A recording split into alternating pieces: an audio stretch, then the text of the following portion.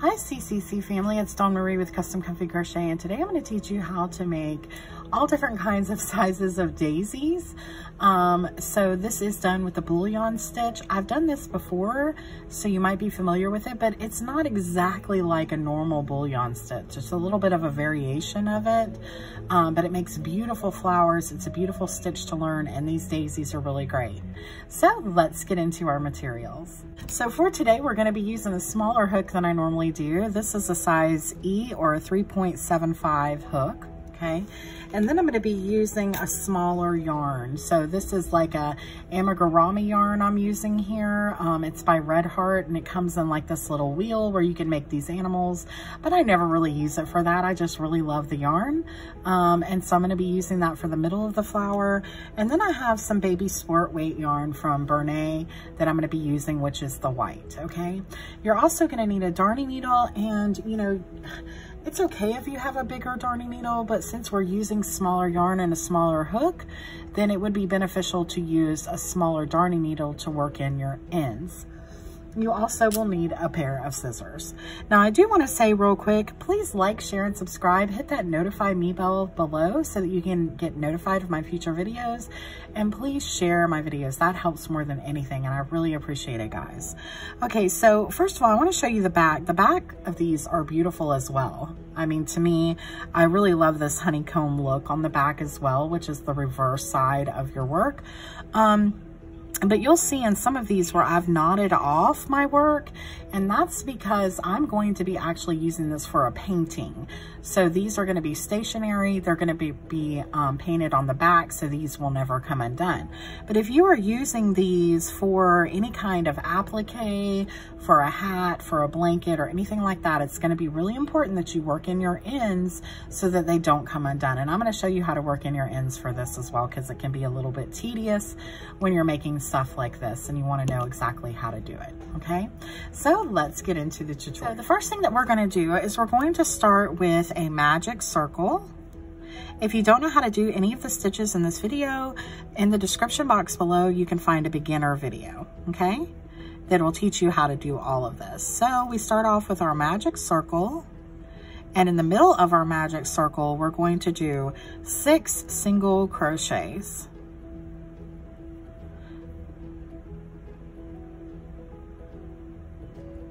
One,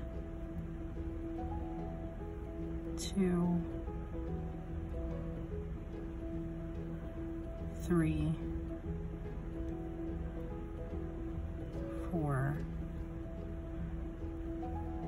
five, and six. And then you're going to tighten up and then you're going to start increasing. So what I like to do, now you can put a stitch marker right here in your last stitch right now if you want to, but I like to just go ahead and count around. We're gonna do two stitches and I mean two single crochets in each stitch all the way around. So working in the round, so I'm not gonna slip stitch to close. I'm gonna go right into this first single uh, crochet here and I'm going to put two single crochets, one and two. And then I'm gonna do that all the way around. And since we had six, I know I need 12 now. So I'm just gonna count. So that was two. Then I go in the next one and put two. So that's three and four. Five and six. Seven and eight. nine, 10. And 11 and 12.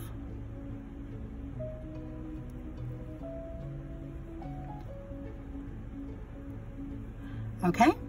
And so that's all I'm gonna do for this one. That's all I'm gonna do because that's all I want right now to show you is how to do 12 petals.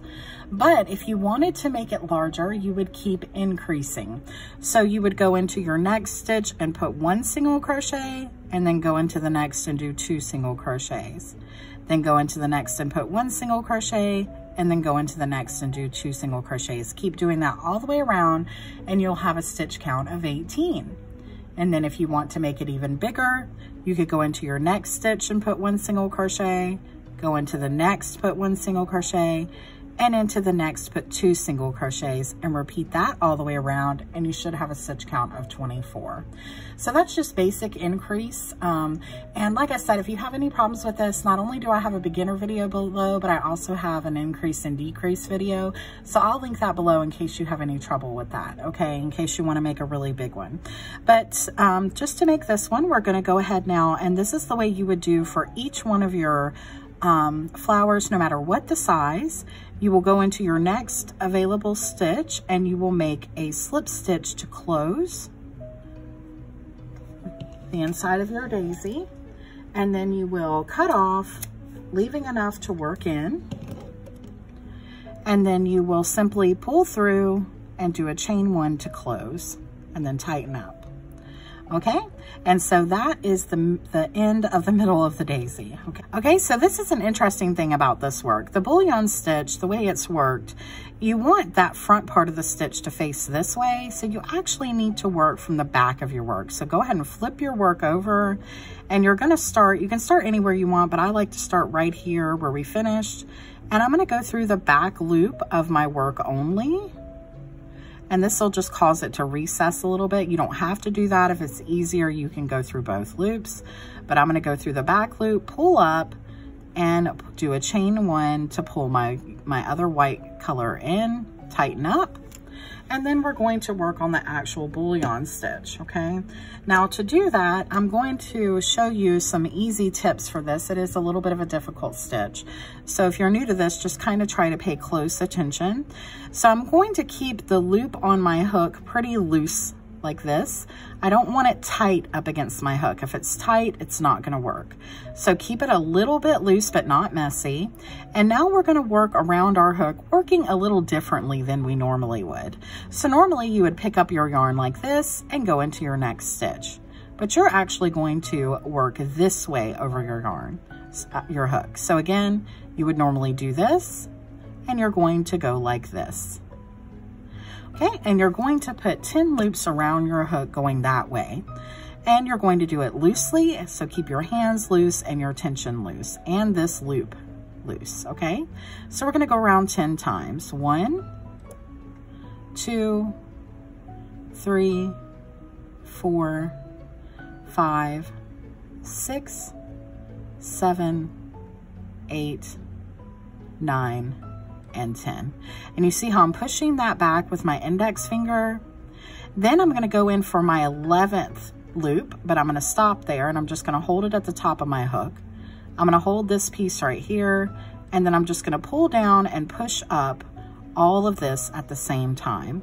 And then it's gonna go through everything. It's gonna look a little messy, but don't worry about it. It's gonna look beautiful. Then you're gonna go into the next stitch working in the back loop only if you can and you're going to pull up and do a single crochet to hold it into place, okay? And then you're going to do that again. So you're going to, right after you single crochet in this next stitch, you're going to go over working loosely around your hook 10 times. One, two, three, four, five, six, seven, eight, nine, and 10. And then for the 11th, just wrap around like you were going to do that again, but you're gonna hold this little piece here, push up and push down at the same time, pull through, go through your next back loop, and do a single crochet. Okay, so let's do that again, keeping this loose. One, two, three, four, five, six, seven, eight, nine, and 10. And then for the 11th, wrap around like you were going to do that again. Then you're gonna push up on all of this, pull down on your hook, hold that with your thumb, and then pull through everything. Then go through the back loop of your next stitch, if you can find it, and do a single crochet. Okay, So it's coming together nicely. We're gonna do a few more together and then um, we'll stop and you can work on it. Again, keep this loose, this loop right here loose. Again, we're working this way over our yarn. We're gonna do that 10 times. One, two, three, four, five, six, seven, eight, nine, and 10. Then go up like you were going to do the 11th one, but you're not. Hold it with your hook. Hold this little piece with your thumb. Push up and push down all at the same time. Then go into the back loop of your next stitch and do a single crochet. And so that's what it looks like so far. That's exactly what it should look like. That's what it looks like on the back. So let's do one more together, okay? Keeping our loop loose, working around loosely. We're going to go around our hook this way 10 times. So there's one, two, three, four, five, six, seven, eight, nine, and 10. Go around for the 11th one, but don't go all the way. Hold with your hook. Pull this piece with your thumb, then go down and up all at the same time. Then go into the back loop of your next stitch and work a single crochet. Okay? So that's what it looks like. If you need to rewind or anything, or if I'm going too fast, please change your settings in your uh, for your YouTube and it'll slow down the video a little bit. Um, and also you can rewatch this, but I'm gonna go ahead and finish this around for camera. And then when we get to the last, I'm gonna show you how to close up and how to work in your ends, okay? So I'll see you in just a Okay, so we've worked around and we have our 12. 1, 2, 3, 4, 5, 6, 7, 8, 9, 10, 11, and 12. You could go ahead and finish here and go over and slip stitch, but I think that it leaves too much of a space there because of the way these stitches are worked. So I work one extra. Now, being that you're working in the back loop, it can be kind of of hard to find this. It was hard to even to find this last one, but just work in what I would like you to do is work into the back loop of the first one that you did. So when you first did that back loop, just work into there. Okay, and so we're gonna do one more together. I've got my loop, my loop uh, loose on here. Also, the more that you do this, um, you can do it a little bit tighter. I just wanted to show you how to do it easily. So I'm just gonna do it a little bit tighter and show you. So, because the more you practice, the easier it gets. You still wanna keep it loose, but you could do it not so loose. Um, so uh, then you won't have to be so careful with, with it. But so I'm gonna go around one, two, three, four, five, six, seven, eight, nine, 10, and 11, and then I'm going to pull down, pull up, and see it went through just fine even though I did it tighter. I just wanted to show you that.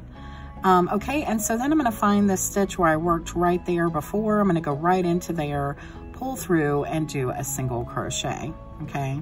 And then I'm going to simply go into the base of this stitch right in between, right there, and I'm going to do a slip stitch to close. Then I'm going to cut off and tie in. Just do a chain one to close, okay? And this is what it looks like. And you're left with these pieces here to work in and then these in the back. So what I'm gonna do first is I'm going to go ahead and bring these pieces to the back. So I'm gonna pull my hook through and just pull that yellow out the back because that's where I wanna sew it in. I don't wanna set it in through the front, sew it in through the front. So pull that all back to the back. Isn't that beautiful? Okay, and so then I can turn this over. Like I said, if you're using this as just stationary, then you can tie these off. You don't have to work them in, but if you are going to be um, using this as any kind of applique, then we do need to work them in. So I'm gonna take my smaller darning needle that I have, and I'm going to go ahead and work these in, and I wanna show you how to do this.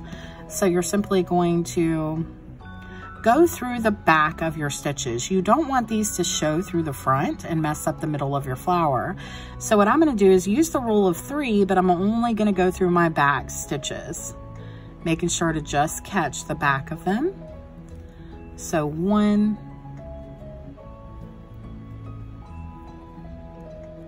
and then I'll go another way and go through the back here.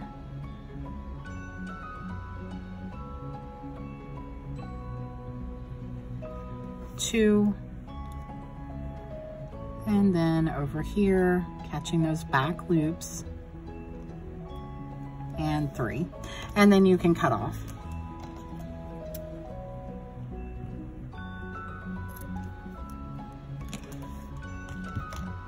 okay? And then you would work these exactly the same way, but I do wanna show you how to do this up at the top where the white is. So you would put this onto your darning needle.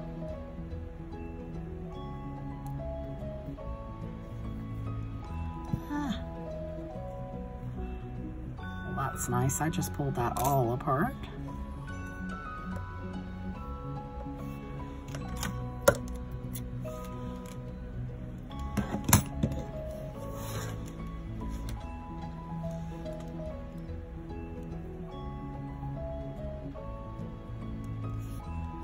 Okay, and then you're just going to go right through right here at the top where the stitch is to bring it back down. And then you're just gonna work through the sides of uh, the petals like this. One, two,